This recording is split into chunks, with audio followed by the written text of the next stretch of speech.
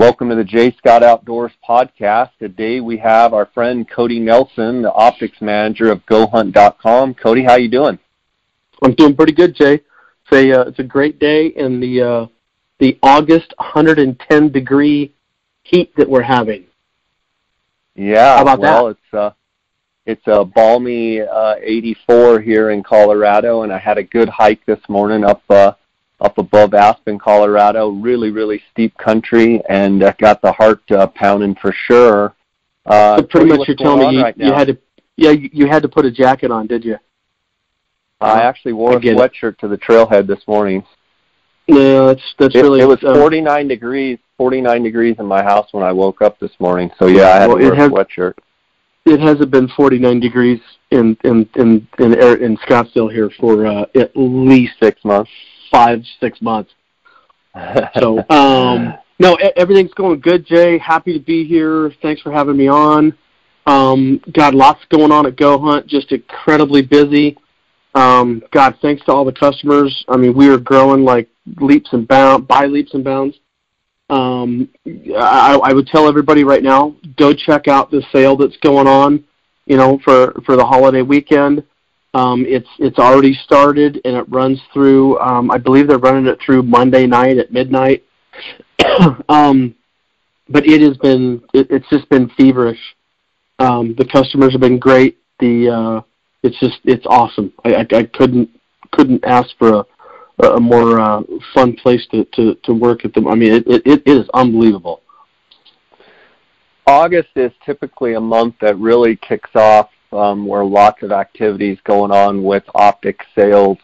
Uh, how would you, we are, you know, 29th of August right now, how would you say that August has gone and what is the sentiment out there on the street with guys buying optics and, you know, Oh, questions and uh, the flow coming in?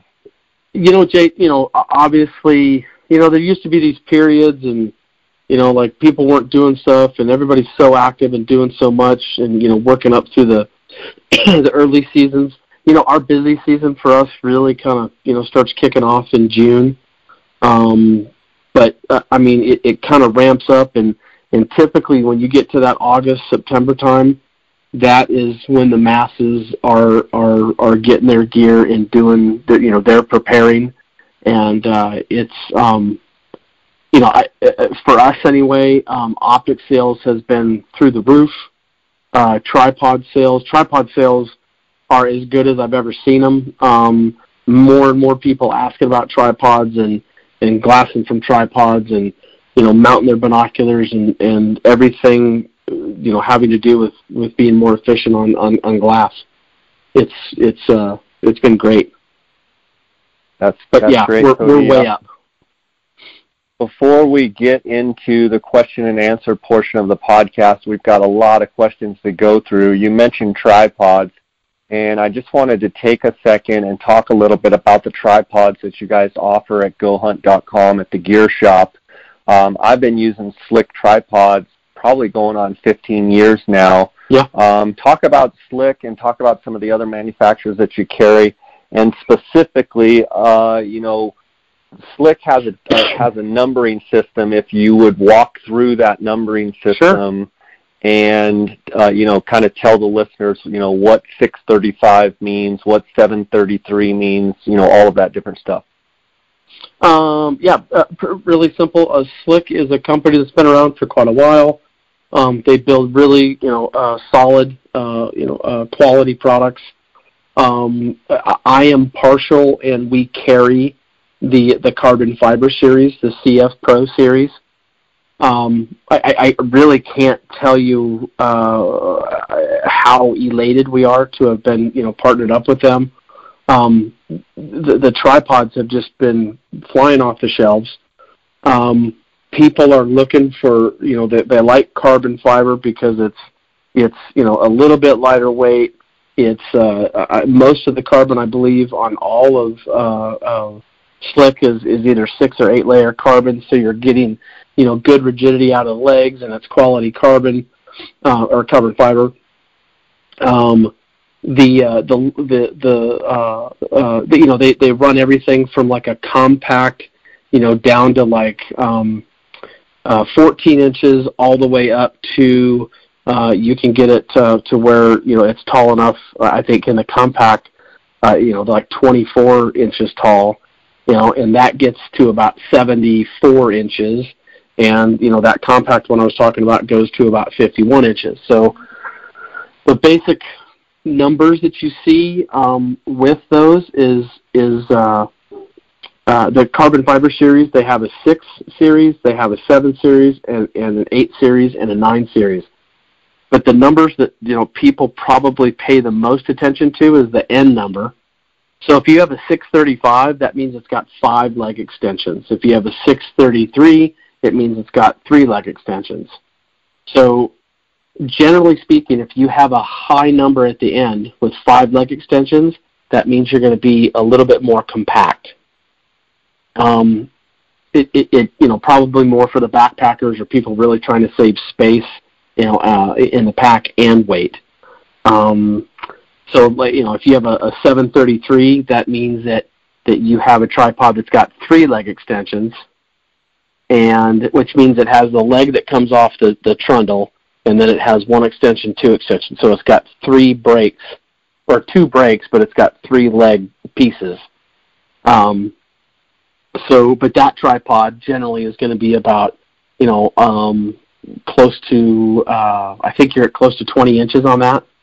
So it's a much longer tripod in your pack, but it's, you know, it's a super solid. If you're sitting down or in a chair, you don't have to use all the leg extensions and so you have a really stable platform. So, um, you know, generally speaking, that you know that's how that whole system works. Um, but they do have three extension, four extension, and five extension legs. So um, if anybody's got questions about it, they can always call me. They can email me, um, you know, at optics at gohunt.com. Um, but it, it's, uh, it, you know, it's just, I would just tell people to, to understand what they do most of the time, whether they sit or stand or um, I, I'm not a big uh, I, I don't teach standing. I don't preach it. I, I I do it sometimes, but very rarely will you ever see me standing in glassing. I just I don't like to do it, and the whole reason is is that the farther you go away from the ground, the more your your optics will move uh, exponentially. Um, and and I just I like to sit or I like to sit in a chair and, and minimize you know my profile. I don't like to stand on the on the skyline of a of a hill and, and alert everything you know because you don't know if there's a buck close to you or not. But I'll guarantee you if you're within three or you know four or five hundred yards, that buck knows you're there before you do. So um, well, well, and I think it's a lot of like shooting too. I mean, the closer you can be to the ground, typically the more sure. stable and the more consistent you can be shooting, yeah. I think as well, the closer you can be to the ground glassing and have a steady platform uh, and have your eyes where they're not, you know, moving around, swaying and what have you. I get a lot of questions, guys talking about, you know, standing and glassing, and I try and discourage discourage it as much as possible. Now, I think, you know, if you're running and gunning for mule deer or elk or larger animals, um, or you know, even possibly antelope, uh, I don't think it's as big of deal. But when you get to some of the meticulous glassing of, you know, Coues deer, sheep, um, you know, maybe trying to pinpoint and really isolate and look at stuff. Uh, certainly when you're trying to field field sure. judge stuff, the lower you can get, you know, the more out of the wind you can get.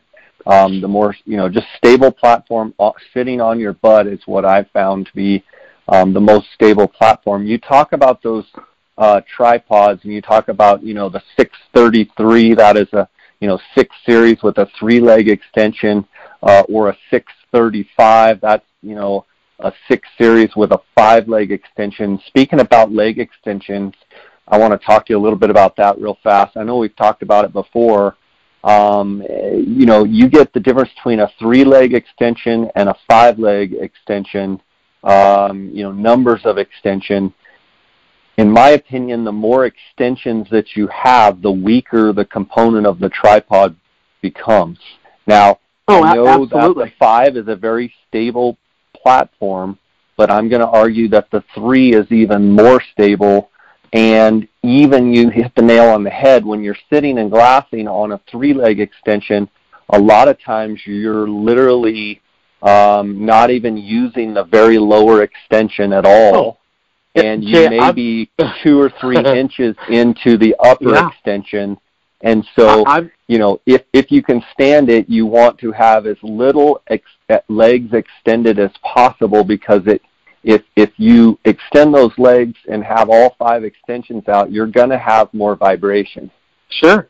Well, Jay, I, I, I've got tripods that if you look at the, the bottom leg extension, it, some of them, other than the pad on the bottom that touches the rocks, you could probably dismantle it, send it back to the factory, and they could use it new on another tripod because I try as much as possible never to use the bottom leg extension because it's a smaller diameter and it's weaker than the other leg extensions. So when you explain that to people and and and I think that the the, the premise for all of this is why do we use a tripod? Why do we do the things? It's eye strain. So the weaker your platform is or your foundation, the more your optics move, which cause more um, uh, it causes your eyes to get tired and refocus and focus and and just not be in, in, in that scanning mode where you're actually looking for deer. I think that's the thing that people miss about what we're talking about is and, and, and maybe some people think that we're completely, you know, obsessive, compulsive, anal retentive and the whole deal and think that we're like these guys are crazy. But the difference is is that I mean, we find a lot of game that way, and I think it, you know, it, it when you practice those things, you get really good at them. And you know, I I think that a lot of times you could spend eight hours looking through glass, and if a guy next to you is standing up, I mean, he might be scratching his eyeballs out by the end of the day. I don't know. But yeah, I, I, I mean, there's some people that say they have a bad back and you know they can't sit on the oh, ground. I would say, you know, get a glassing stool, get a chair, literally sit in a camp chair. I would rather see you sit in a comfortable camp chair uh, rather than uh, you know standing and glassing. But um, let's we've got a bunch of questions to dive into here uh, today, sure. so let's go ahead and just jump into the questions here. Yeah, uh, and this actually goes right with the uh, tripod standing. It says the first question comes from Jacob Dykes, AZ. What tripod will fit a six six guy standing up? Um, I wow. can tell you that my 733 slick with the um, the center post extension that's a little bit longer than the average. I'm six foot two, six foot three on a good day, and I can easily stand, and I have more uh, uh, center post extension to go. So, I mean, that's one that you could probably start with. Cody, what do you think? Well, and, and the first thing to always remind people, you know, because uh, we get this question a lot, measure to the measure to the eye, not the not, not your not the top of your head. So I mean, and, and realistically, I mean that could be you know three and a half inches. You know, it depends how big your forehead is, I guess, or how big your melon is. But um, always measure to the eye and not not the other way around. Um, you know, basically, Jay, there's there's you got like uh, if if you do like a, a 733, you're getting a 66 inches, and then you know on top of that, you're going to throw a tripod head on there, and and you've got um, let's just call it three and a half inches. And, or you know, depending on the head that you're using, and then on top of that, you're going to have either a you know the, a bino adapter of some sort, excuse me, or you're going to have a uh, spotting scope. So, you know, if, you can think about that that measurement, um, you know, that's really what you have to do. So, um, I would tell that person um, that's a 733s, uh, the eight, um, the you know, the 833s, 834s, and even the 923, 924s, but those get a lot heavier and not so much like you want to pack them around anymore. So I would tell that gentleman that's six six if he wants to call me, um, and you know we can help kind of get a tripod for him that works for him. And you know, I, I the funny part of what I want to say is let, let's not stand up, let's sit down, and you can use a lot more a lot more tripods. But um, long story short, yeah, we we can get him rigged out Um, but I would tell him to look at the the the Manfrotto like 055s or the the Slick 733s, and then you know, and then the components on top of that will get into that, you know, that that that, that at least that six. Let's call it six three. You know, one more thing that I, it just dawned on me while you were talking that I want to mention is one of my biggest pet peeves is when I look over and someone's glassing one of my clients or something and they have, they're sitting down and instead of adjusting the legs, they adjust the center post and they've got four or five inches of their center post up and they're moving it up and down. Can you talk a little bit about that? Oh, absolutely. Um, I, I would tell you as a general rule, I never ever try to raise my center post. And you know, for you guys at home or you know whoever's listening right now, I mean, there's going to be you know uh, anybody. If you will take your tripod and you lock it down tight, and you lock it down where where the head where the the, the center post column of that that base or cap is all the way down on top of the trundle, and then you take the the the um, the center post on the bottom and kind of wiggle it, you can kind of see that, that a lot of these tripods have there's just a little bit of play in there. Well, the higher you go, the more play that gets. And so I just always, as a general rule, I try to use the the the leg first, and if I have to use the the you know head and, and move it up, I'll do that. But I try to ref- I, I I try to do everything I can to refrain from using the center post. So when people are standing, you're you're gonna have an issue with that. So, I, and Jay, if you don't mind, I, I got another pet peeve that that I I laugh at. I see in pictures all the time, and it it it just goes beyond you know uh, physics. If you take a tripod and you start, you know, like we were talking, how we were talking about, we always start with like the middle leg, you know, extension first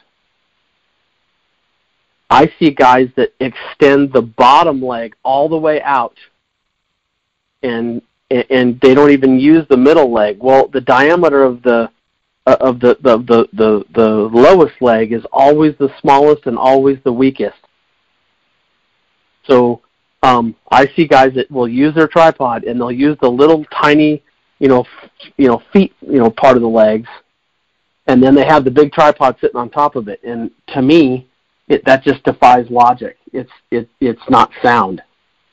So I just would always tell people use the fatter legs first.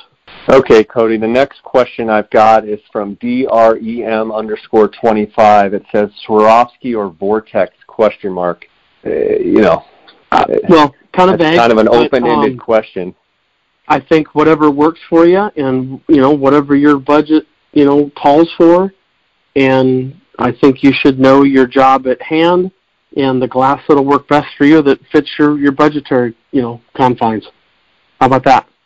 Yeah, I mean it's there's really no specific question there other than trying to you're comparing yeah. apples to oranges. They both make binoculars, they both make rifle scopes and spotting scopes, but they're you know two yeah, and, completely and different companies and absolutely that's one of those things that you know, what is your price point, and well, then go from there. I think a better question would be Swarovski, Zeiss, Leica, and you know, then the next question would be yeah, it, Vortex, you know, Leupold. You know, it, it's like saying, uh, you know, Mercedes versus Toyota. Well, where do we even start? I mean, there's just tons well, of differences. It, it, it, it, the, the thing is this, Jay, is that on both sides, look, if you take a, a set of 1250 ELs and mount them on a tripod, you're going to find game. You take you take a 12 set of 1250 UHDs, mount them on a tripod, you're going to find game. And so, you know, you start doing the it's all the little intangible things that, that start to add up as to why something is is. And I, I hate to use the words better and eh, the bottom line is that it's just that when you start to do all the little small things that adds up to that extra 10, 15% or whatever it is that that makes something better or easier to look through or less strenuous on your eyes. So, you know, I just I'd simply say, you know, you you got to go put your eyes behind them and and make sure what works for you works. That, that that's that's what I would say. Next question is for a backpack sheep hunt, what size binoculars and spotting scope would you take? Well, if he's talking about Dall sheep, you know, he's saying backpack sheep hunt. So I, you know, I don't know whether he's talking about desert bighorn. Well, I think you're you're all over that. Um, but the way I'm interpreting that when he says backpack sheep hunt, I'm assuming he's talking about a northern hunt. I assume he's talking about a sure. a, a stone sheep or a Dall sheep. And I would tell you that I think you're fine going with a pair of 10 by 42 binoculars that you can have around your neck and that you can mount on a tripod. And then the Yep. spotting scope, you know, depending on if you're really weight conscious and trying to save weight, uh, you know, you know, a lot of these 65 millimeter spotting scopes are going to be pretty ample for, um, you know, being able to field judge rams. Now I know Brendan Burns with Kuiu, he carries a 95 uh, everywhere he goes. I know when I'm guiding desert bighorn sheep hunters in Arizona, uh, you know, I'm carrying a 95 all the time. Uh, so, you know, a lot of it depends on how physically able you are, uh, how much weight you're, you're willing to carry, what you're willing to sacrifice to carry the 95 over the 65.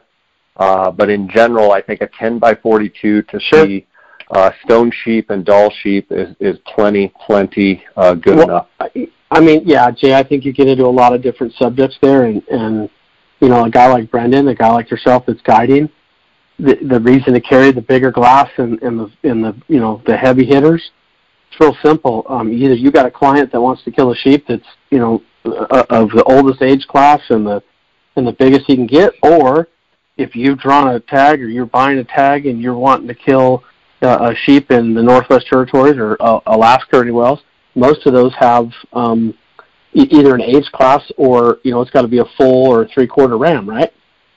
So Right. you know you, you got to think about putting the glass you know that's going to allow you to do the job so you can make a good call. So because my Yeah, understanding sure. is it gets it gets real expensive when you when you shoot the wrong ram.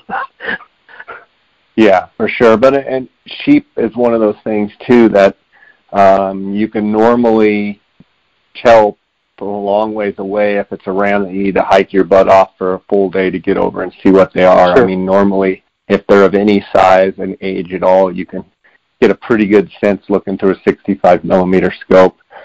Uh, next question is best scope for a 30 6 400 yard max looking for 750 or less.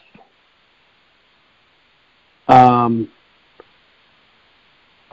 man, I, I you know I'd probably put them in a like either the Leupold three and a half to ten, um, you know, by forty.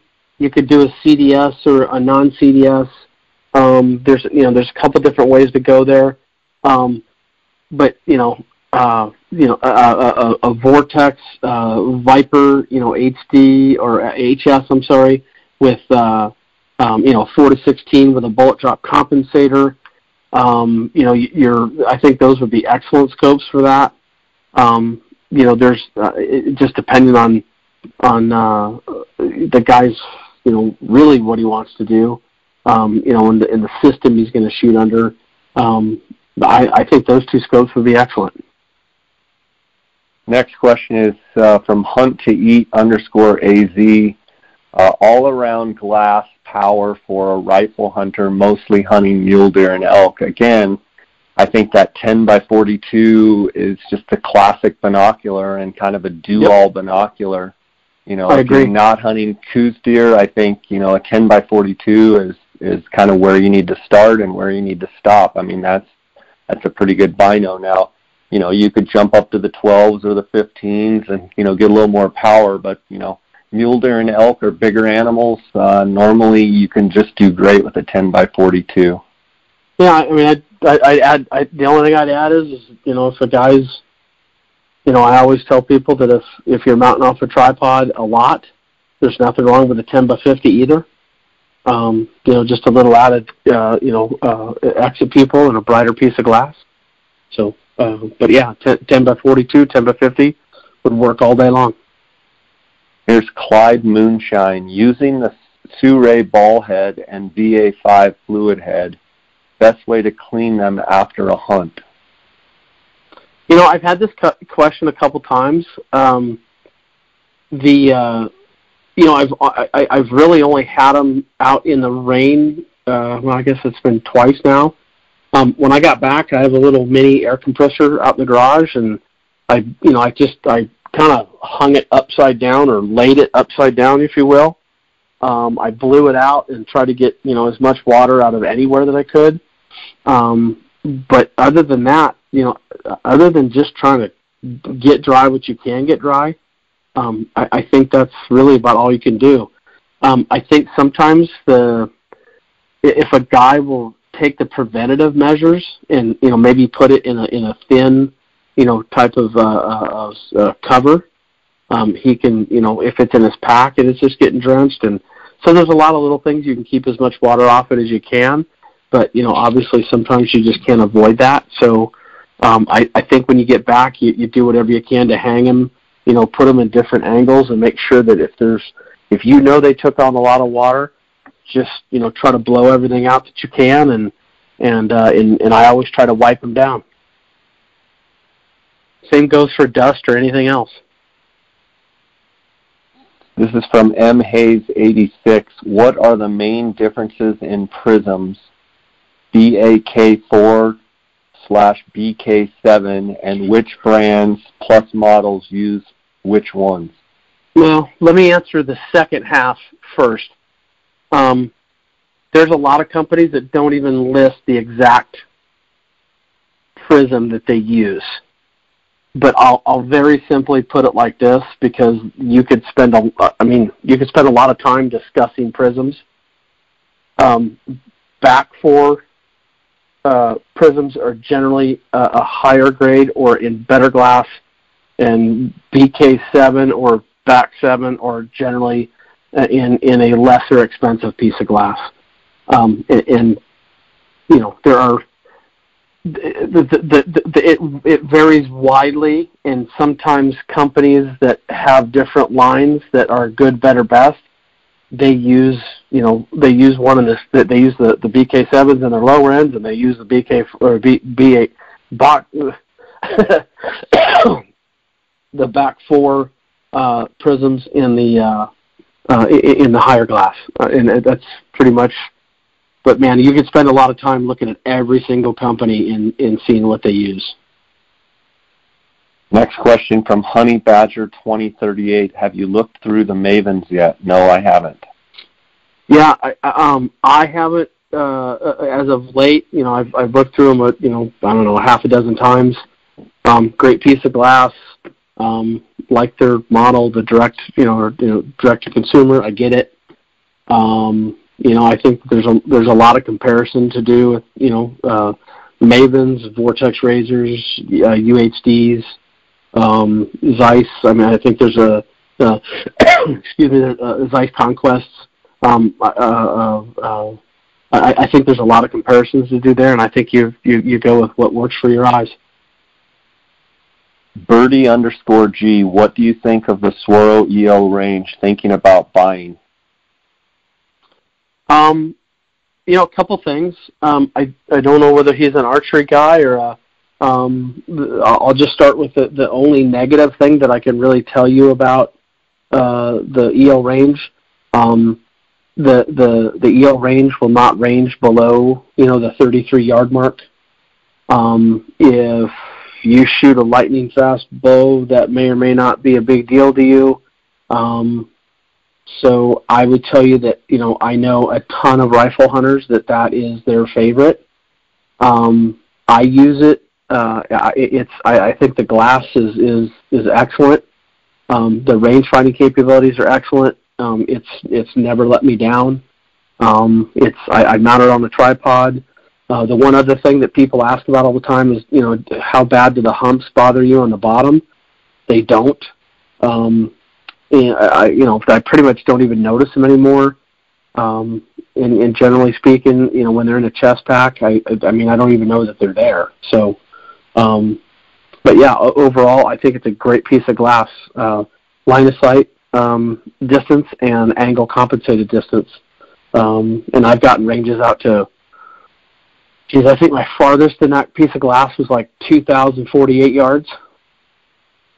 So yeah, yeah I, I for sure. really The like only them. thing I would add too is the button for a bow hunter. It's on the wrong side. It's Yeah, on the left side. So if you're a right-handed bow hunter and you hold your bow in your left hand, Yep. You have to. Lift, agree. I have the Swarovski EL range. You have to pull them up to your eye, and then you have to reach over with your right index finger over the top, and it's a little cumbersome. Um, I will tell you, I've been testing out the new Zeiss uh, Victory RFs. I do like the fact that the button can be moved to either side. It comes standard on the right side. Um, I've been asking for that for a long time, Jay. yeah. So It's a really good thing.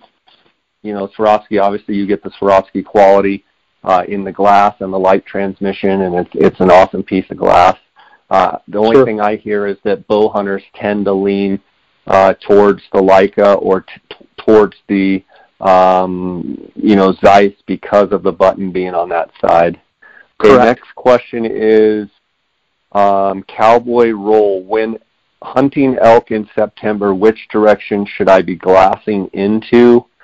Uh, so my answer to that would be in the mornings, get up where you can kind of see open parks because the elk are going to be congregated in Yep. open areas, typically meadows, and then they're going to be working their way into the trees. And then as the morning progresses, I'm going to be immediately glassing total shade pockets. I'm going to be elk are notorious for afternoons seeking the thickest, darkest timber that they can. Uh, in Arizona, where you have big stands of pinyon juniper, a lot of times you can literally predict where the elk are going to go bed, and that is, you know, you can look at Google Earth and find the thickest pinyon juniper uh, country and you know stands within the pinyon juniper country, and that's where all the elk are going to be bedded. Uh, in, in places like Utah and Colorado, they're going to use the roll of the hill. Uh, they're going to use, you know, blue spruce, aspen. They're going to use as much shade and utilize as much shade to stay cool as possible. So, and you know, I think that goes for deer hunters as well. Um, you know, especially in these early seasons, but even on into the October, November, December seasons, uh, Yep. especially if it's warm at all. Most all four-legged animals are going to bed up in the shade and you know, when I go Coues deer hunting in Mexico, I pretty much can predict where the bucks and where the deer are going to be bedded. When you look at a hill, you look at the afternoon, you go for your afternoon glass. Just find the places that are shaded when you first show up, and Yep. those historically Well- are going to be the places where those animals are going to be. I, I, I was going to mention just real simply, like for the most part, you know, guys, if you put yourself in a position where you can watch the elk go into their bedding area, you know, I would just tell people like, don't don't don't push the bedding area. Let leave the bedding area alone, and and use that information for where you need to be the next morning or that afternoon. Right? Make sense?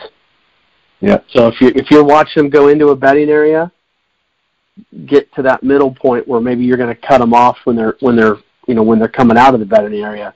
But I don't know. I'm just not a big fan of going in there and, and, and exploiting the bedding area, you know, to to disrupt it. Because I think once you disrupt it, you're you're going to cause yourself a lot of work to figure it out again. Next question from Max Henderson 11. Go-to glass for turkey, small, mid-size to fit in turkey vest, mid to low price range. Um, Max, I use just uh, Swarovski EL 10 by 42s. I know that's in the upper price range. Um, Cody, what are your thoughts yeah, on some small, I, I, mid-size? you know, I think uh, I I think a guy should take a look at the like the. Um, I just brought on the like the Leupold um, Alpines, the BX-2s. Um, what what a what, I mean, what an excellent little piece of glass. They're they're not overly big, and you know they're they're you know it's not like they got giant padding all over them, and they they fit excellent in a. Uh, i I mean, you can put it like underneath your if you're using a vest or whatnot, but uh, they'll they'll fit easily in a in a chest harness, and um, either that or like uh, the new Diamondback HDs from Vortex. That would be an excellent piece of glass, um, and you're going to be you know in that you know both those pieces of glass you're going to be in that two hundred and fifty dollar range. Um, but you know, if you're just using them for turkey and, and you want to save some money, I think those would be excellent for that. Uh, next question, Brad Stinson, 21. Will deer slash elk follow the sun throughout the day or stay on one slope? We kind of talked about that. They already yep. know where the shade is uh, when they when they you know head for their beds after their morning uh, after their eat uh, you know night out uh, chasing you know cows and and does around. They already know exactly where they're going to go bed.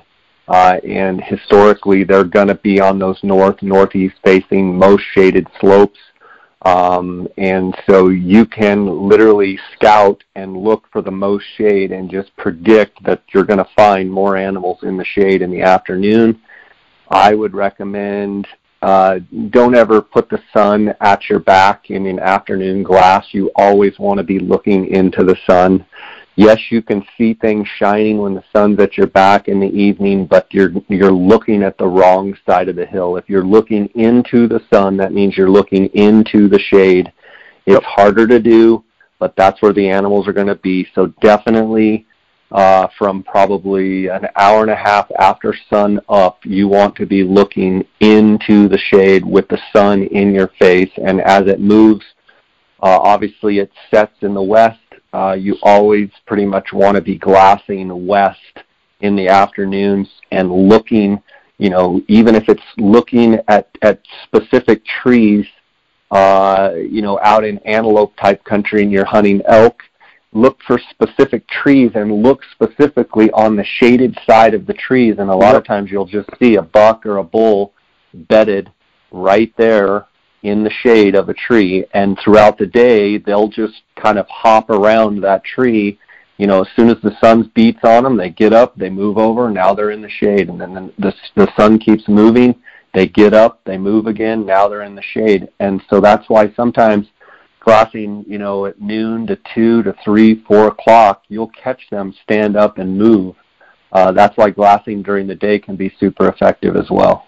Absolutely could not agree more jay uh, next question is, will there ever be a straight BTX? And then it says, is the Twin Spotter's best overall glass for straight long range glassing? Cody?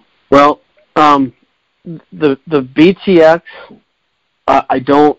I mean, as of right now, and I, you know, I just met with the the Swarovski team, and um, I I just don't think that they're I don't think there's any plans to do a straight BTX right now. I, I, I, for the for all the guys that want that straight BTX, I get it. I understand it. I, I like the idea. Um, I, I, I just don't ever think it's going to happen. Um, so I, for a simple answer, uh, I, no, I don't. Not right now. Um, as far as the uh, the twin spotters, Jay, you have a lot more experience with the spot the twin spotters than I do. But I mean, how can you go wrong if you've got a good, solid? Um, I, I think the most important piece of, of the twin spotters is you have, have a bracket that is solid and will not allow the glass to move. Once you get that handled and you get them set for your eyes, um, I mean, Jay, you can back me up here, but I mean, yeah, that's going to be an excellent piece of glass and look, but you got to do some work to to get it there. And once you get it there, I think it's it, it's arguably as good as any of the others. So uh, I think that's pretty pretty simple. Yeah, and the question comes from Chad Sorensen. Uh, I, I've been using the twin spotters now for a couple of years. Uh, they are, I would say, not as comfortable as looking through like a BTX or looking through a Kowa or looking through um, a Docter Optic. Um, sure. Just something about them. The comfort level might not be quite as good, uh, but they do perform very, very well. Uh, the one thing I use the 25 by 50 uh, wide angle lens and the 65 millimeter uh, objective. Uh, the one thing I wish Swarovski had was uh, I guess for lack of a better term, I wish there was clicks. So at at 30 power, at 35 power, at 40 power, at oh, 45 yeah. sure, power, sure. there would be an actual click or a set spot where the biggest problem with my twin spotters is I can glass at 25 power and everything's great. I can glass at 50 power and everything's great. But when you start m- moving in the magnification range in the middle, like you have to be exactly on 30 power on the left eye and 30 power on the right eye. If your magnification is off a little bit, I'm telling you, start pulling your eyes out and looking at going, am I, you know, am I losing my vision because your eyes are looking through two different magnif- magnification powers. So if they would make a little stop point or a little click or something, that would make those even better. Um, and but you know they're they're a lot lighter than the Kowas. They're a lot lighter than the doctors. Well, that that was uh, so yeah, they are an amazing that, tool what I was going to bring back to this is that, it, I mean, look, um, you know, Greg Krogh and I were just talking about the 40 by 80, you know, super wide angles with the ED glass. I mean, look, they're they're all awesome glass, and and you've got to do what's right for you. But th- there's two things that I want to point out to this guy that that I'm not telling you you have to or you that you're you know making a mistake if you don't. But with the BTX, you're talking about the heaviest version is like six pounds, and and you you get to use a, a medium weight tripod with it, you know, with a medium weight head, and you, you the, the literally, I mean, holy cow, are you a lot lighter than any of the others?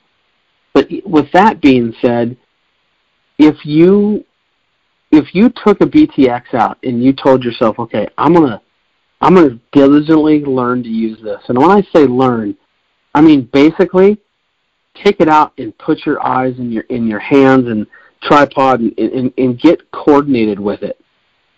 Because I used to hate angled anything, but then I had to learn to use the Kowas, and I, you know I made myself use the spotting scope, an angled spotting scope, for a year, and pretty soon you realize that it really is just hand-eye coordination. It's like learning to shoot, you know, traditional, you know, uh, uh, you know, tackle for archery. You, you know, you got to know, you know, it's that it's that instinct of like I'm looking at a hill and boom, I'm going to move my optics and I'm right there and I'm looking at what I was looking at. So, I just think if you give it time, you know, some people can't get over that, and and that's okay. But um, I find the BTX to be quite frankly, I find it really comfortable to look through for long periods of time. Um, I keep my tripod shorter. Um, it, it just, it, it just, I, I guess it just because I just diligently try to, you know, hang in there and and and, and get coordinated with it is what I try to do. Does that? I mean, I don't. Does that from? Oh, okay. That's good. Landum Boomsma Landon Boomsma. That's the best I can tell you. Uh, I love millimeter these names, and power. Millimeter and power for an all-around spotting scope, and 15 powers or 18 powers for Coues and antelope. Well, my, well, you know, all-around spotting scope is. If I had to choose one all spotting scope, well, that's that's my point. If I had to choose a millimeter of spotting scope, if I just had to choose one, I'm going with the light gathering every time. I'm going with the 80 mil or 85 or 95. If I just had to choose one. Okay, let me I'm me going 85 explain or that for a second. To the people out there listening, um, you know, you've got 65 millimeter or to say 60 millimeter up to say 95 millimeter. So the bigger the objective. So a 95 millimeter is going to be a bigger objective and it's going to gather more light because it has a bigger hole, if that makes sense. And Cody, correct me if I get no, no, you're, you're, you go yeah, with a 65 objective, that's 65 millimeters, so you've got a smaller opening or smaller hole, if you will. So when he, when Cody's talking about light gathering, uh, anything that you go with a bigger objective, and it goes the same thing with binoculars. If you have a 10 by 42, the, the last number 42, that's 42 millimeter. So that means the the diameter, the, the you know the opening is 42 millimeters, as opposed to 15 by 56 millimeter. That second number is objective, that is going to gather more 56 is going to gather more light than a 42 just to make that clear Sure. um, and when he's talking about best all around i mean i mean that's so up to someone's opinion but i mean i would think just a great all around would be you know an 80 to 85 millimeter objective plenty of light gathering capability certainly the 95 is is you know, that's what I use, but it's also a lot heavier because why? It's bigger. It's, yep, exactly. Um, but you, you know, okay, the, I mean, think of it this way: when you switch from an 85 to a 65, you, you've just lost 20% of your light gathering ability. If the power's being equal, if you're using it like on 20 power, you've just you've lost 20% of your your your light gathering. I mean, that, that that's the cleanest way to find. And, and quite frankly, I you know, I think if a guy took a 10 by 42 or a 10 by 50 and an 80 millimeter spotting scope or 85 millimeter spotting scope, I don't think there's anything he can't do. The next question is of his is and 15 powers or 18 powers for Coues and antelope. Well, I think both 15 and 18 both are going to be great. Uh, you know, 15 power, uh, Zeiss makes 15, Swarovski makes 15, Leica makes 15s. Uh, none of those three big companies make 18s, uh, but you know the new Vortex uh, 18, UHDs, 18 UHDs. Yeah. Um, you know they're very good, but then you compare you know the the 18 power UHDs compared to the 15 power Swarovskis. Yes, they have three more power, and yes, they are great for the price point that you get them at but I still would probably go with the 15 power Swarovskis for Coues and Antelope. My personal opinion. Yeah, I mean, Jay, I compared them uh, to, to uh, you know, really for a morning, a uh, couple, you know, two Fridays ago. Really sat down behind the glass with them and really kind of compared them side by side. Looked at some some uh, pieces of dirt that were you know anywhere from 600 to you know probably 1500 yards. Um, Hey, look, I'm not going to tell you that the UHDs are. I mean, I was really impressed with them, but when I really started to study and really started to, you know, I'm just going to flat out tell you they are not brighter than Swarovs. But did I see an? I mean, did I? Would, would I equally find game in them? Sure, I would but again, I, I I almost always lean myself or lend myself to the wider field of view with that 15 power. Um, there are going to be some people that that instead of buying a spotting scope, and if they really don't like looking through a spotting scope, it you will be perfectly happy and use those 18s, and you will really enjoy looking through them. I I, I got to, and you know, Jay, I don't even know if you and I talked about that, but I was really, really impressed with them, and I think that there's a lot of guys that that that specifically for that price point are going to absolutely love, uh, uh, you know, purchasing them for their their long range glassing, you know, 15 use. Uh, I think they're welcome and going to do a great job in future country for sure. Um, yeah, I, I just I think you gotta. You know, I, I always take the field of view personally, but um, you know, I understand when a guy wants to to up the power a little bit. So Next I hope that answers the guy's question. I am underscore visa. Do you take a spotting scope with you on hunts, or is a good pair of binos good enough? Well, if I'm answering personally, yes, I take a spotting scope on every single every place I ever go. I take a spotting scope. Um, yeah, very now, very I, rarely would you ever catch me without a spotting scope one thing I do want to point out, if you're just out there trying to shoot any buck or you've got an antlerless hunt or you know you don't care anything about antlers and you're just trying to if it's a buck you're going to shoot it or if it's a bull you're going to shoot it then maybe I can see not having a spotting scope. And just pop up your binos yep it's a buck okay I'm going to shoot it. Um, if you're trying to classify categorize break down you know trophy hunt uh, you know, trying shooting something that you you know bigger than what you've already shot, or looking for kickers, or trying to you know age a sheep, then I would highly recommend a spotting scope. There's you know, very rarely a time, maybe a turkey hunt. Obviously, I don't carry a spotting scope on a turkey hunt, but for big game hunting, if you're the type of guy that wants to be able to see what you're shooting at, I would definitely recommend right. taking a right. spotting scope. Next question comes from P underscore Scott 19, Zeiss Conquest versus Razor UHD, quality of glass. So just on a quality of glass standpoint, what do you say, Cody? Um, I think they're really, really close.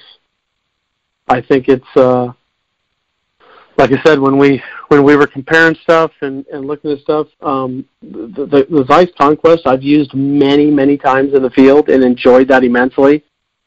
Um, I, you know, I can flat out tell you that, you know, and, and, and it's tough when you start, you know, you do have that extra three power. So, you know, is it the extra three power you like or, um, again, but I, I would tell you that, uh, I, I think it's a really, really close, um, you know, game there. I, I it, it would it would be a hard decision for me to choose between the two.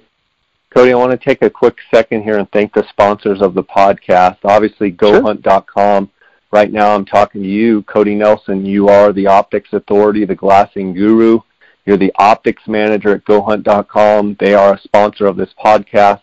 You are the optics manager at the Gear Shop. I want to recommend anyone that's looking to buy optics, looking to buy tripods, you have glassing questions, to give Cody a call directly for any info and sales, it's 702-847-8747. That's extension 2. You can email him directly at optics at gohunt.com. I also want to remind you guys for the month of August here, uh, use the promo code JScott19 to enter the $1,000 Go Hunt Gear Shop August giveaway.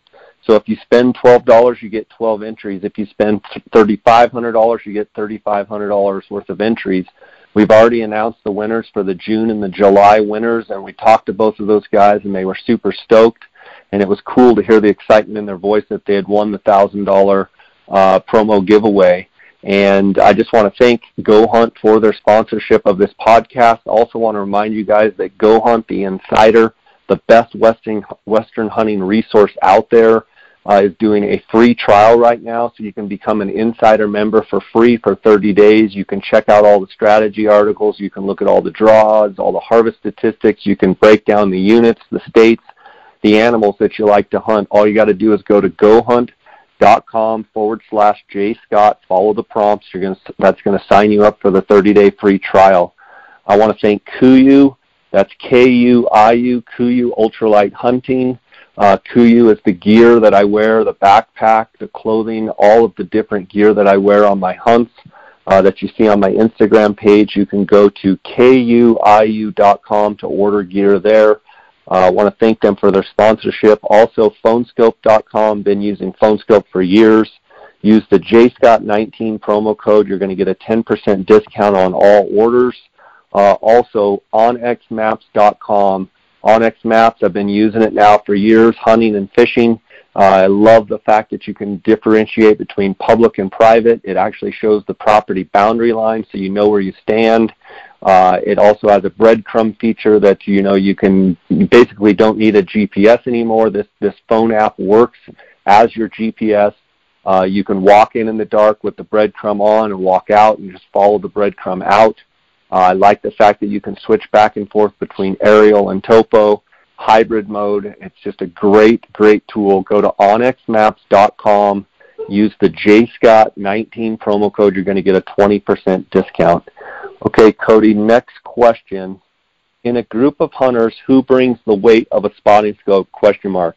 Which one? Question mark. And why?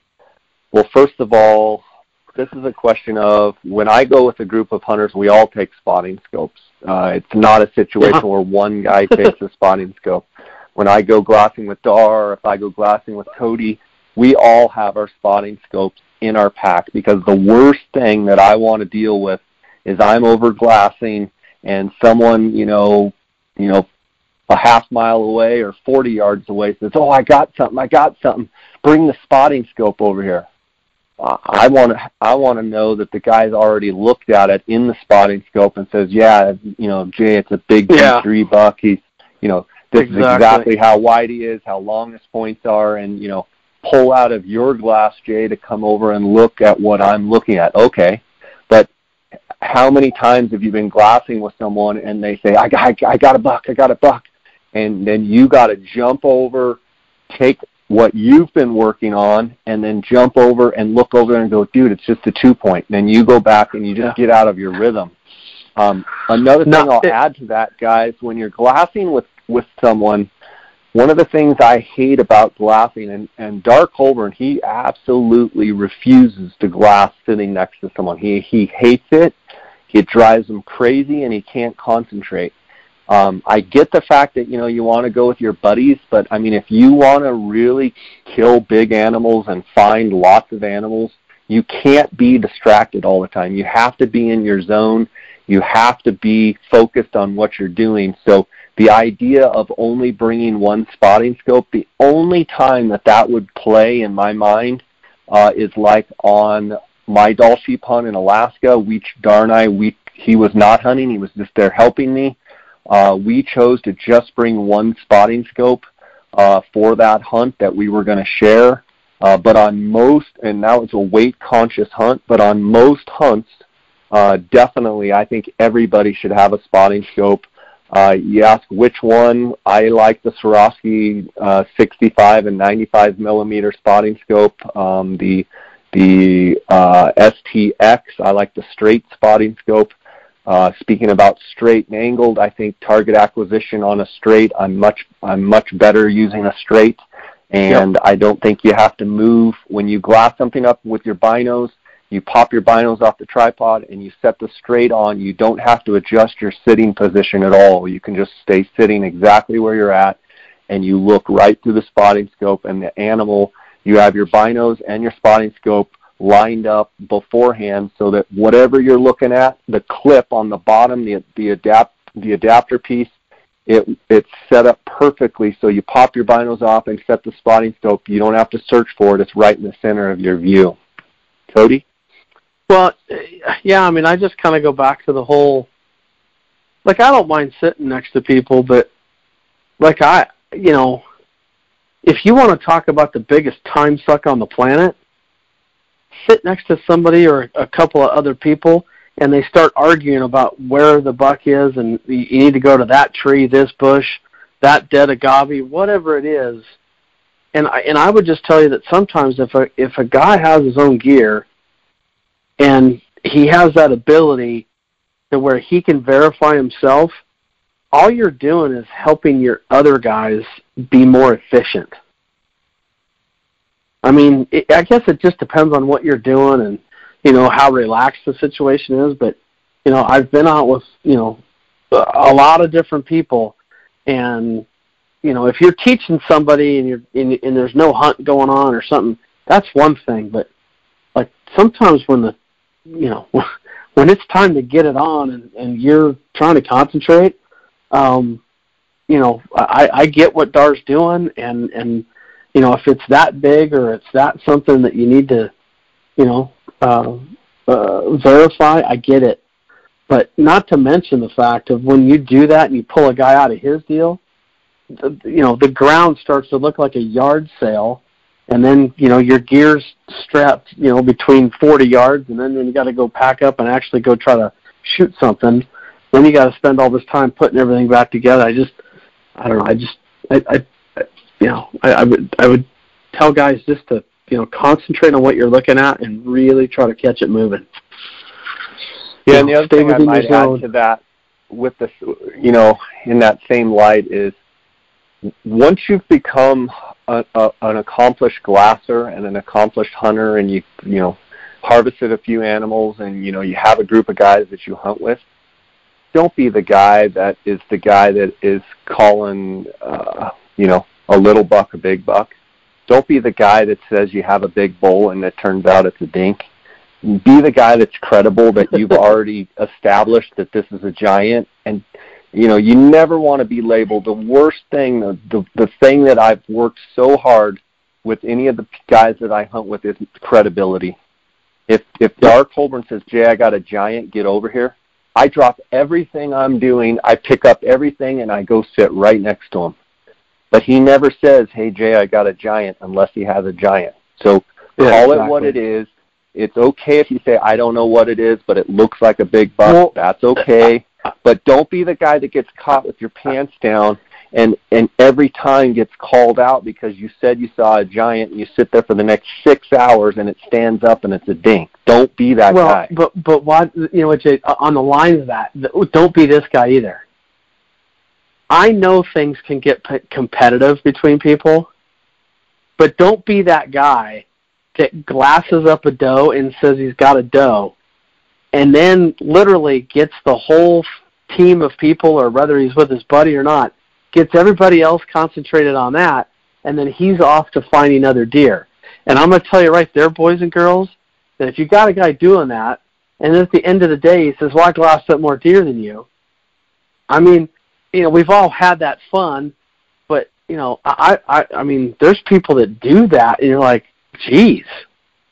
So if you got a yeah, doe, in other words, great. they, well, they want to find a deer and they want to tell you about the deer they found and, and and then take you off of what you're looking at. You come over and go, okay, I okay, yeah, I got the deer, and then you're like, well, where? And he's already looking, you know, three ridges over, and he's got, I got another deer. Don't be that guy. Don't do Yeah, not be it- that guy. Yeah, and and yeah. so there's Yes. yeah, uh, yeah.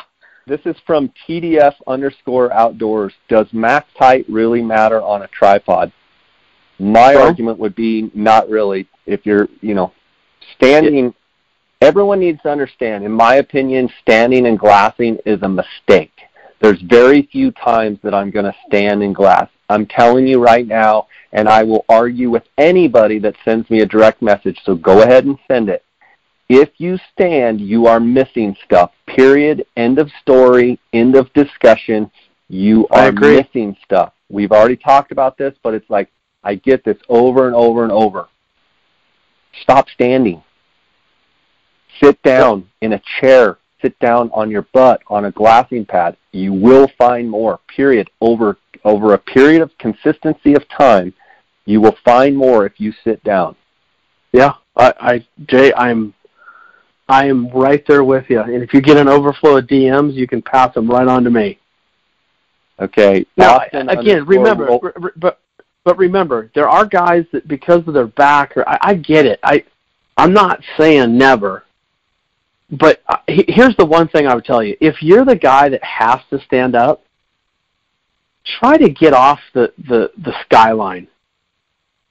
Just try to get off the skyline. Get into a place where you got a tree that that you can back up to, and and and not. I'm just telling you, it. I, I I've watched too many people from another hillside that they got deer around them and under them, and they know that that guy's standing there glassing, and all they do, the deer just beds down. I, I've, I've I've seen it too many times, we got and they're up there moving around and unpacking stuff, and All right, let's move on. Austin underscore Rollins one. How heavy of a tripod is a good balance of weight and stability for your average hunt? I, I think somewhere in the three to four pound range is optimum.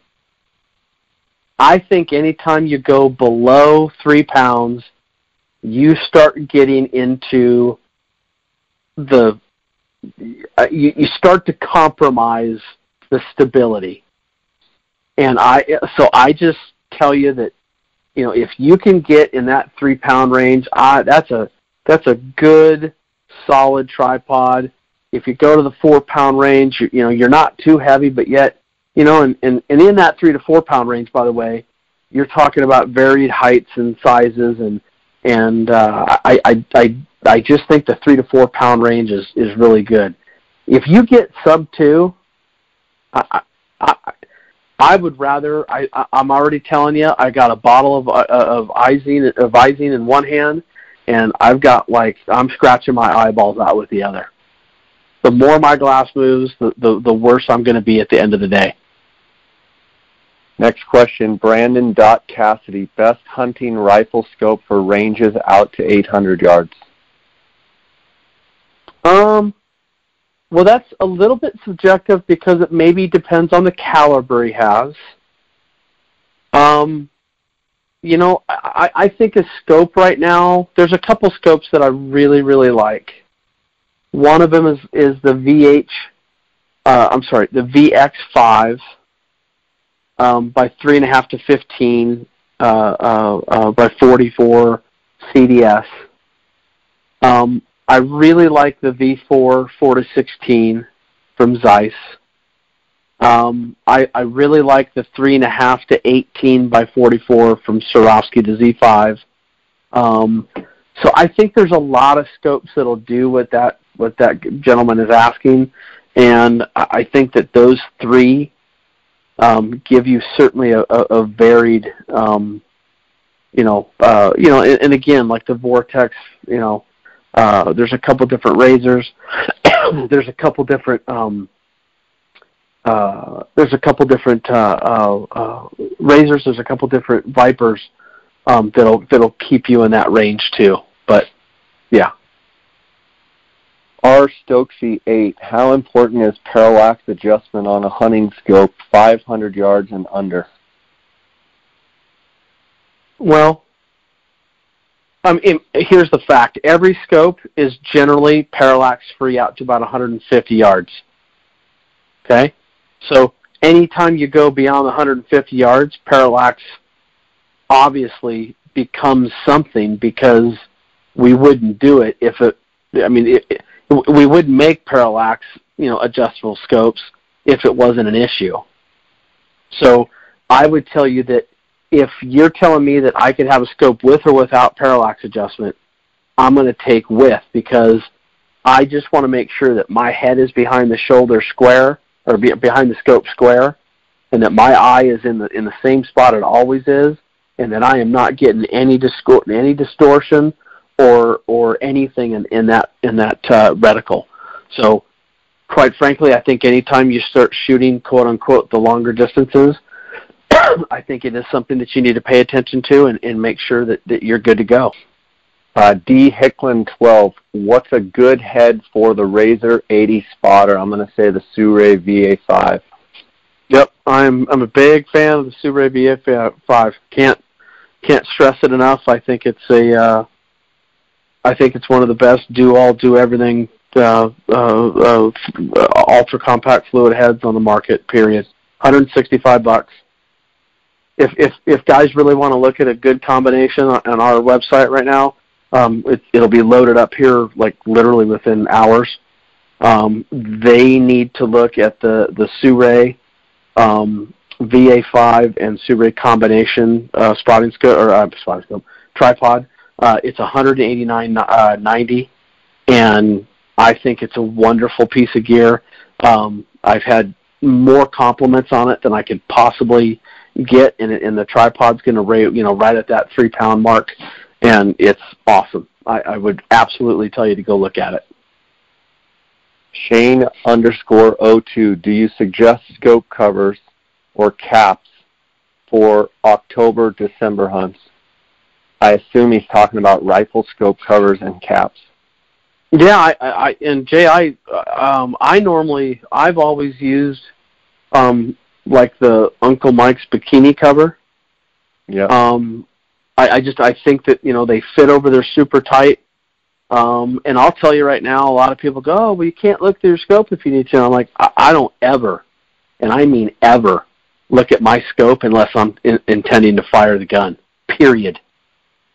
Yeah. So if you're using your optic as uh, you know, and I've heard guys say, you know, they they they put their spotting scope up or their rifle up and they turn it up to 24 power and they use it. No offense, not in my world. I will not do that. I, I, I just I frown upon that heavily.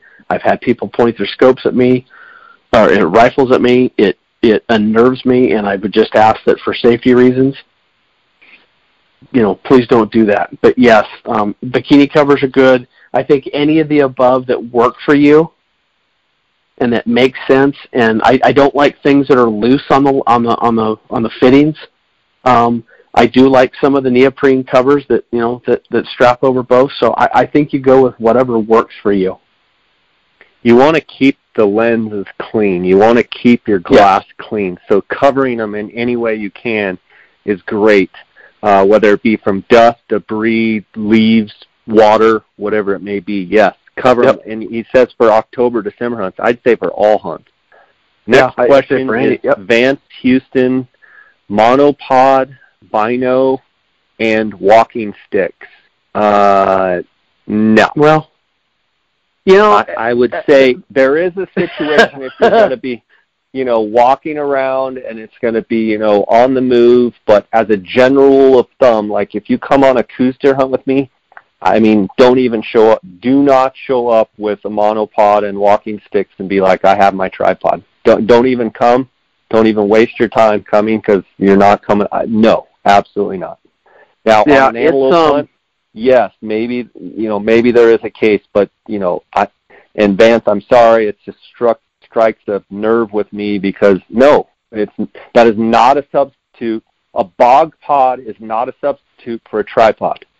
Well, I will tell you that in my experience, and while I'm not as How'd you get me so fired up today? well, I I don't know. I you're a little you're I don't want to say testy. moody, but you're a little a A little, little testy. testy.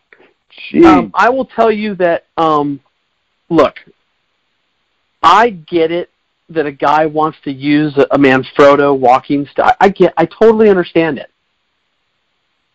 And I would just tell you that if I'm glassing, and I've done this with a guy that's using a monopod, I spend more time telling that guy is where the deer is again because he has no way of stabilizing his optics to where that when you're staring at something, you can't hold it, you can't like step away from it.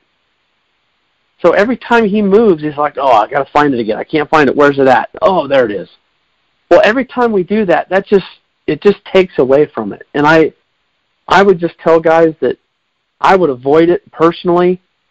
Um, I know that there's people that do different kinds of hunting, and you know, I mean, hey, look, if you're a if you're a walker and you're going to use a a, a a monopod that's got an ability to mount your glasses on there, I'm not telling you never to do it. I'm not telling you you can't do it from you know you know walking along a, a ridge or whatever. I'm just saying it, it it just inevitably causes the same problems. Your glasses moving a lot, your eyes are having to uh, focus, unfocus, and it's just going to cause more eye strain than what it's worth.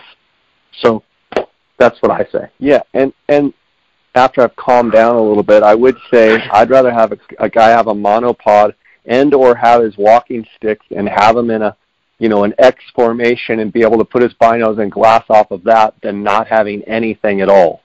So anything Yeah. you can do to stabilize. I just got this question thinking that he's talking about rather than a tripod. Um, Yeah, but I- I- yeah, I mean, I would rather you stabilize the binos on something rather than nothing. Well, uh, next and question, I'm not- Rick. Oh, Let's let's Yeah. let's move on. Rick C. I don't want to get you fired up. Where is a spot in the McDowell Mountains I can practice glassing? Well, to answer that question, I mean you can go to the Gateway Trail uh, there in Sure. North Scottsdale. Uh, you can go to you know the Tom's Thumb Trail on the the other side. I mean virtually anywhere. Uh, you know you're not going to see a ton of game. There is you know javelina, there is some mule deer in there, um, but you know if you want to get out and just kind of get used to hiking up to a knob and you know kind of l- looking at the lay of the land. I mean Yeah. if anything, you can you can sit there and What's watch the the, one? bikini hatch on the trail, um, yeah. and, and practice looking through your spot or your uh, tripod and getting the tripod set.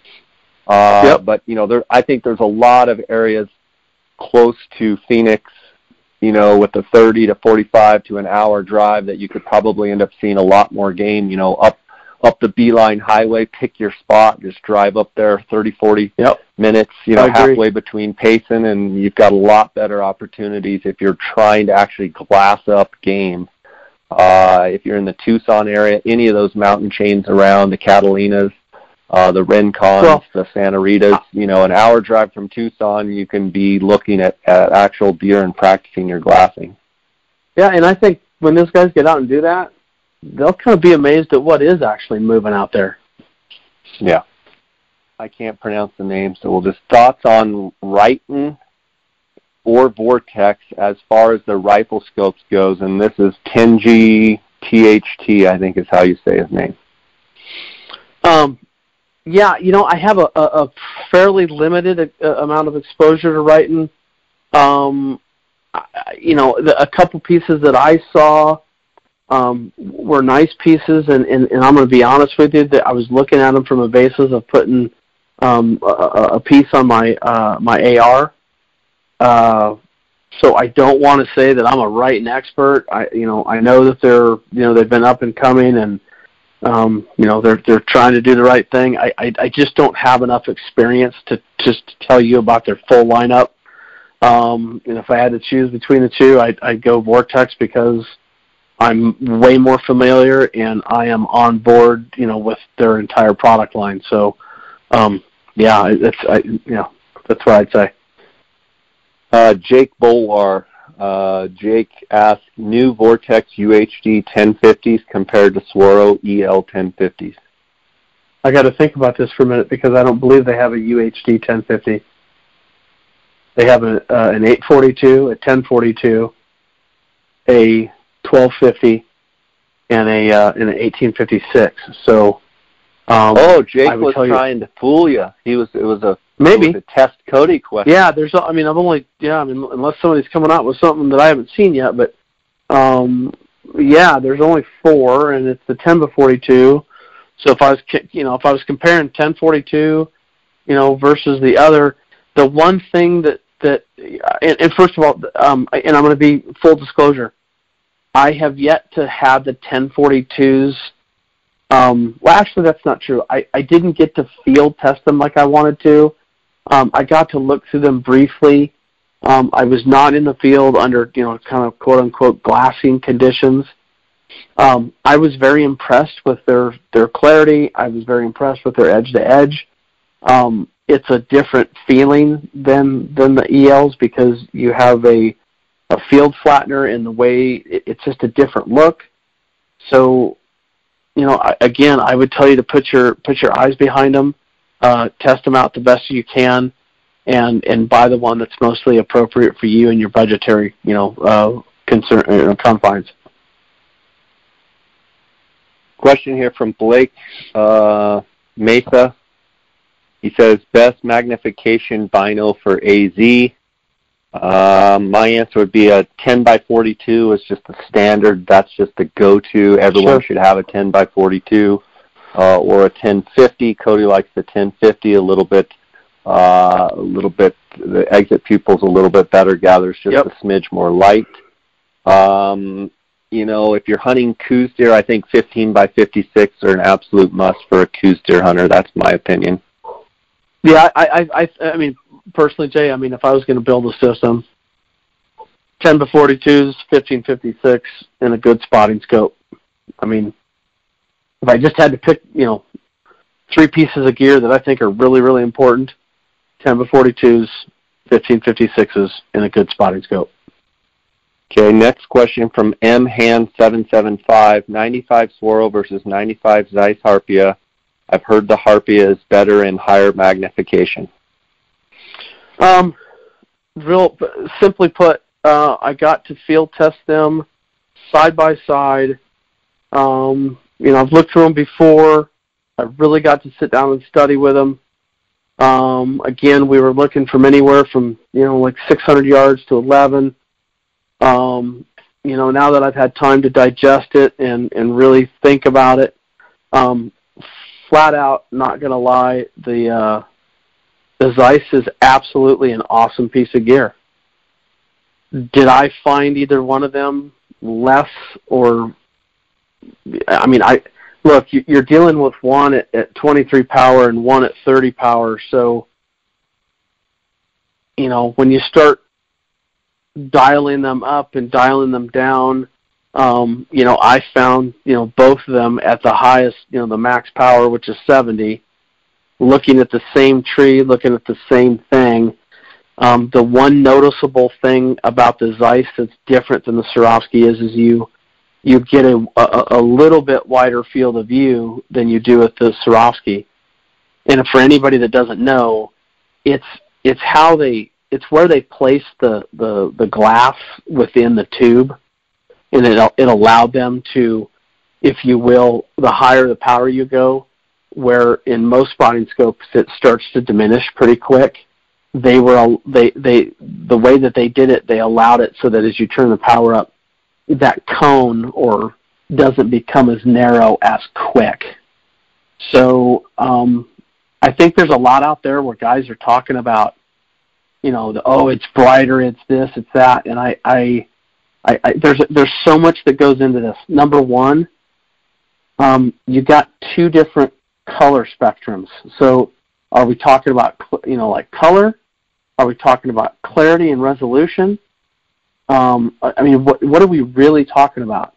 Um, you know, you, you have to focus them. You have, I mean, there's a lot of things that go on with that. So, uh, I, again, I can tell you that when I was studying, you know, this grouping of trees, and you're you're trying to literally figure out the knot in the trees and the the hanging bark, and you know everything that you're doing, and the shadows, and differentiating between you know one rock or this rock or this squirrel and that you know you know squirrel or whatever uh, I, I can honestly tell you that you're talking about literally two of the best pieces of glass in the world. And I think it's, um, I mean, for me, my opinion, I, I really like the eyepiece of the uh, of the Swarovski. Um, I, I, I found the, the, the Zeiss eyepiece to be, you know, pleasant. I, I, I it just was, uh, it, it's better than the old, you know, pieces. Um, for sure, I like that eyepiece way better than I like the the older style uh, Dialyts. I mean, without any doubt, you know, or the diascopes. So, you know, I, I think again, um, the one thing that the Swarovski has that you know the Zeiss doesn't is the is the the compa- or the uh, the the modularity. So again, I, I think you got to look at the the two of them put your eyes talk behind about them. the modularity. He means you can put a 65, an 85, or a 95 objective on the same eyepiece, where the Zeiss you can't. Yeah. So when he's guys, now, when he's talking about modularity, he's the, talking about the ability to switch different objectives. The, and the other thing that needs to be said, Jay, right now, in the Harpia line with Zeiss, there is no straights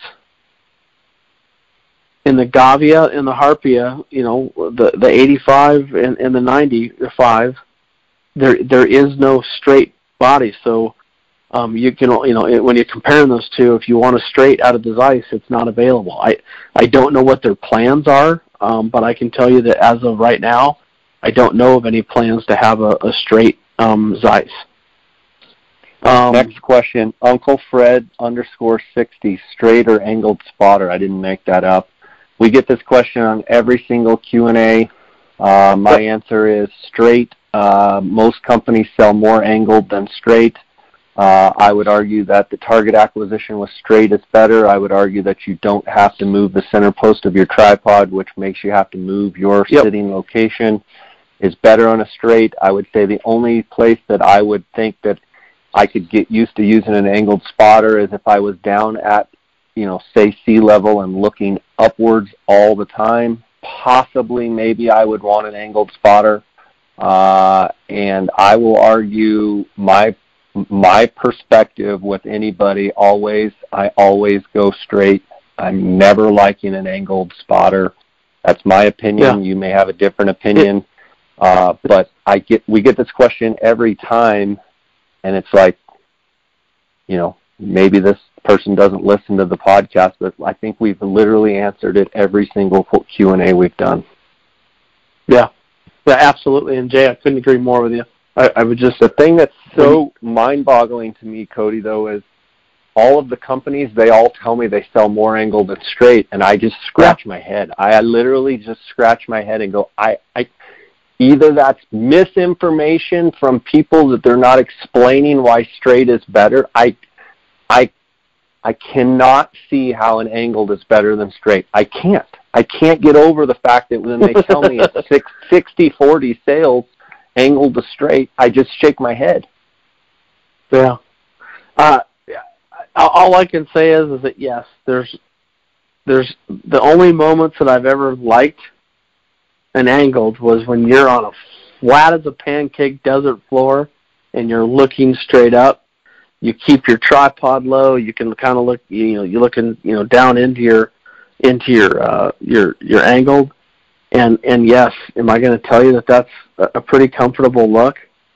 My problem with it is is that I normally spend most of my time with my binoculars on the tripod. 85% of my time. And when I find something that I want to look at, I lock the tripod up or the head, I slide my binos out, and I slide the straight in, and I'm looking at the same field of view that I was looking at through my my binoculars, but a little tighter. And it, it just it, it helps me find game that you know maybe that game is moving off, and you only got a certain amount of time before he's over a ridge. I can't tell you how many times we've you know had to put you know big glass on on the deer like that and make a decision. Okay, do we wait for that buck to come back, or do we go get him, or what? You know, what are we doing? And flat out, bottom line, I'll take straight every time. Next question, Buck Sheep underscore. As a guide, if I had four to five thousand to spend on glass starting from scratch, what should I get? My opinion is you should get a pair of 10 by 42 EL Swarovski EL binoculars, and you should get a uh, probably an 85 or a 95 STX uh, modular spotting scope, and you're probably going to be pushing that 5,000 range. But if you're a guide, you owe it, owe it to your clients to have absolutely the best uh, two pieces of glass that you can have, and that's my opinion. Yeah, if I and I don't, I, I'm not going to stray much farther than that. I, I think if a guy buys the best glass he can afford, you know, he's got a good tripod, and you know he has that ability to to use the tens and and a really good spotting scope. If if he's a guy that's worth his salt, he will pay for that so fast, and it's a business expense. Just get the best you can get, and and and learn to use it. If you're a guide, don't let your client show up with better binoculars and optics than you have. There's no excuse for that. Okay, Chase Kimber, number six, mule deer hunting. How long will you glass an area before moving on to the next? Well, that Oof, depends. That's are, a loaded question. Are you looking for a particular buck? If you know a buck yep. lives in a certain spot, then you need to stay until you find the buck. It's not like, oh, he's not here, let's move on. Um, how long will you glass before moving on to the next?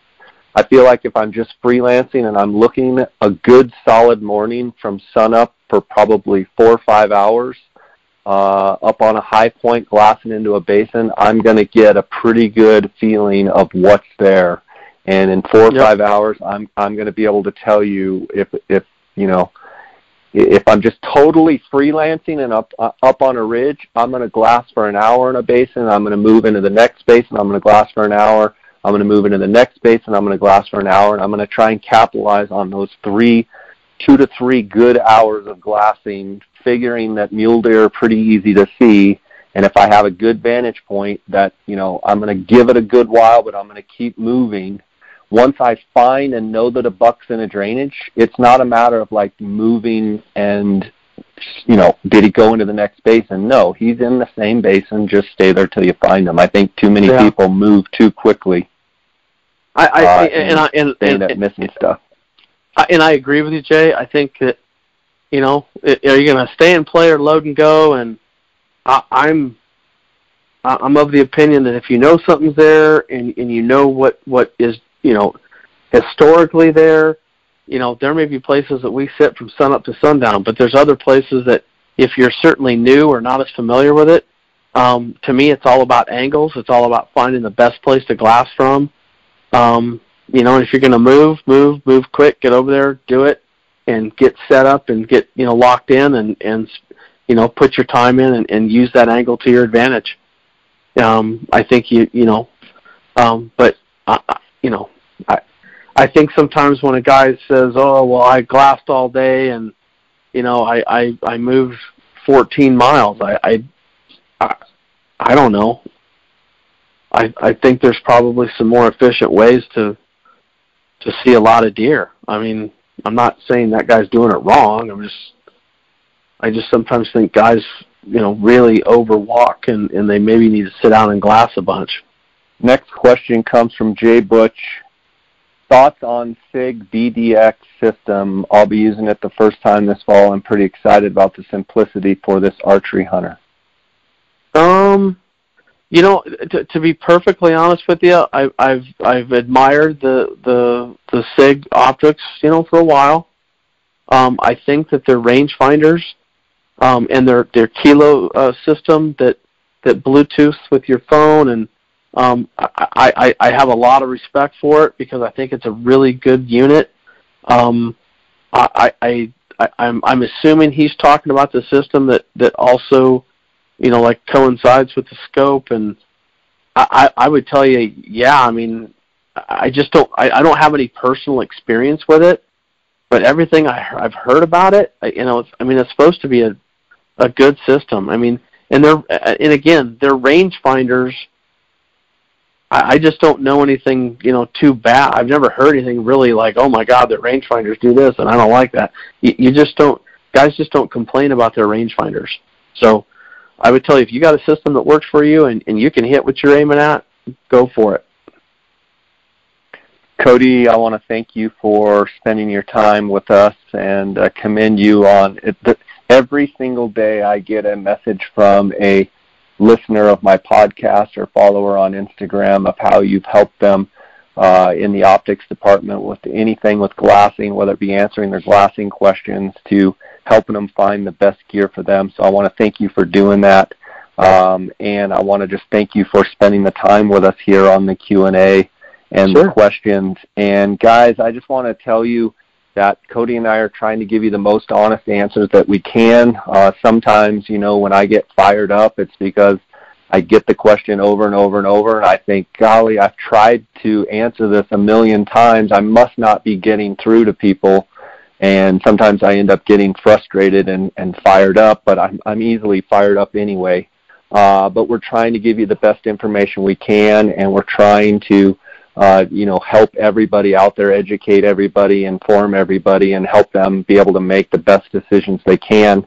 Uh, and then, you know, Cody, it's just uh, great for you to be able to spend time with us here.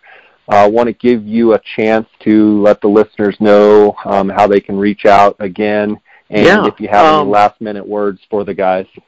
Well, you know, there's a couple things. First of all, Jay, thanks for giving me the platform and, and allowing us to, to be a part of this. Um, I can't tell you how um, you know beneficial it is to to uh, get questions and answers out, and people call back and they they want to expand on stuff and say, hey, can you explain this further? And so I just I, I think it's a, just an awesome way to get you know the word out. Um, number one, number two, um, you know, there's uh, guys go check out the the sale that's going on at, at GoHunt.com. Um, there's a whole bunch of different stuff on sale throughout the uh, the the gear shop. Look at the optics. You know, um, look at all of it. Um, the uh, and by the way, there is a Zeiss uh, promotion going on that I strongly su- suggest you go look at um, with the Harpias, the Gavias, and the uh, and the RFs. I, I strongly recommend you, you looking at that because there's some really good savings there. Um, but uh, as far as getting a hold of me, um, you can always call uh, 702 847 8747, extension number two. Um, and you can also uh, reach out to uh, uh, optics at gohunt.com, or um, you can go to our YouTube page and subscribe there and or subscribe to the YouTube page, and then um, you can ask us questions on the videos. And guys, you know, I, I travel up there, you know, once a month or twice a month, and and I'm always doing videos, and we're always trying to put new content out for you and try to answer questions like we're doing now, but only put them, you know, kind of, you know, behind the glass, so to speak, or with the glass. And uh, so again, Jay, I just appreciate the platform to to let uh, people hear, you know, kind of my passion and my love, you know, for for glassing and, and finding game. Right on, buddy. Sounds good. Well, it, uh, season's upon us, and uh, look forward to uh, you know seeing some success stories coming out of Arizona. Looks like they're killing some really big deer, and and elk season's you know a couple weeks away. So just kicking Yeah. off all over the West here, and everybody's excited. So, uh, guys, if you're looking for optics, if you've got any glassing questions, uh, give Cody a call. Make sure to enter into the drawing uh, for the thousand dollar Go Hunt Gear Shop giveaway. Uh, and Cody, thanks again. Uh, we'll catch you later down the road. Okay. You got it, bud. I appreciate it very much, and uh, we'll talk All to right. you soon. God bless. Take care.